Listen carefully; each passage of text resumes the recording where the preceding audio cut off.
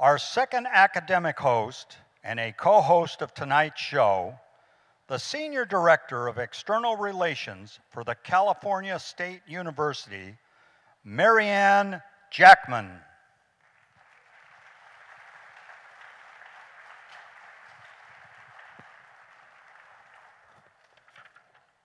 Good evening, ladies and gentlemen.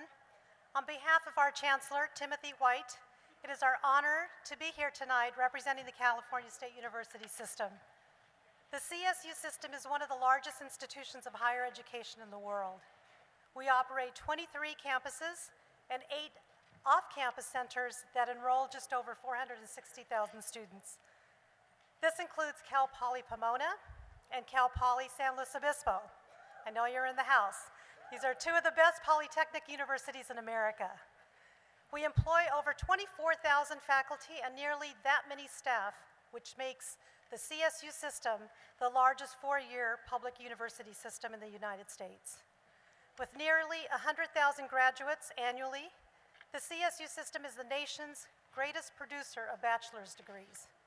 We collectively sustain more than 150,000 jobs within the state, with expenditures of more than 17 billion annually.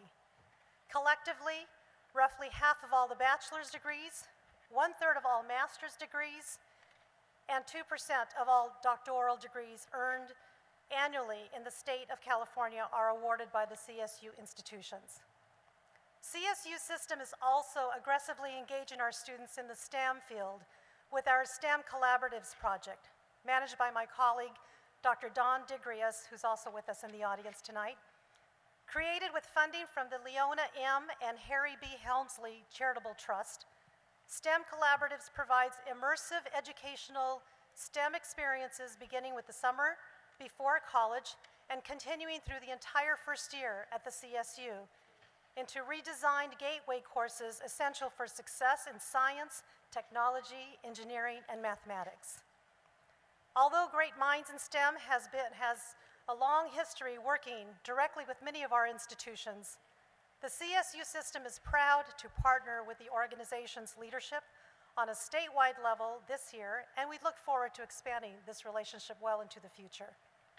To talk a little bit more about the CSU's role as an academic host of this event and his role as a co-chair of the HENAAC Selection Committee, I'd like to call on stage the president of the California State University, Los Angeles, Dr. William Covino. Ladies and gentlemen, please welcome Dr. Covino.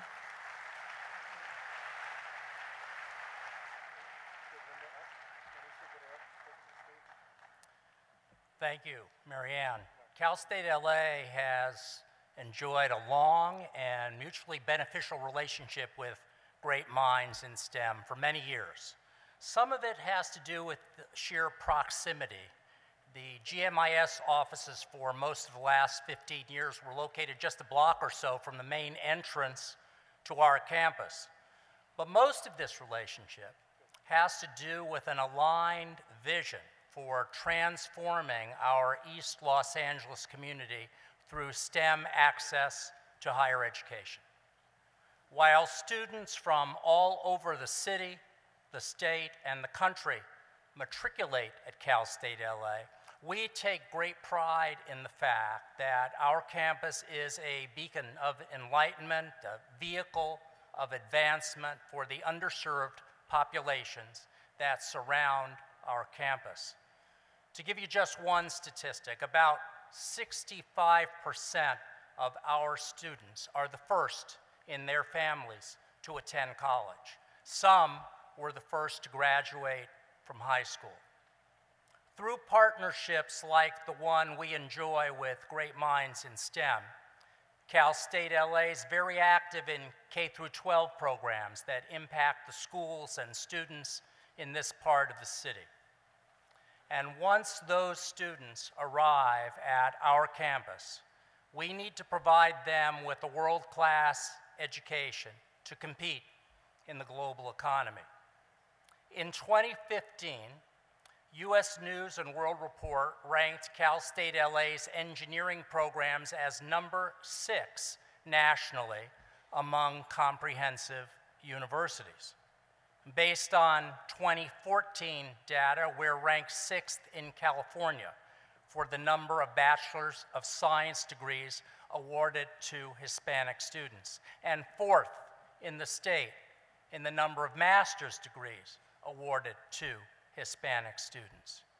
And in its most recent data, the National Science Foundation ranked Cal State LA as the number one institution in the country of origin for Hispanic PhD recipients.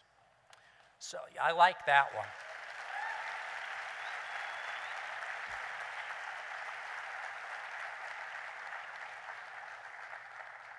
Before I wrap up, I'd like to recognize Dr. Emily Allen, the Dean of our College of Engineering, Computer Science, and Technology. We heard Dean Yortsos of USC speak earlier about the importance of the selection committee to the HENAAC Awards, and I couldn't be prouder of the job that Dean Allen did representing our institution in this very prestigious role. Let's give both of our deans one more round of applause. Thank you all very much.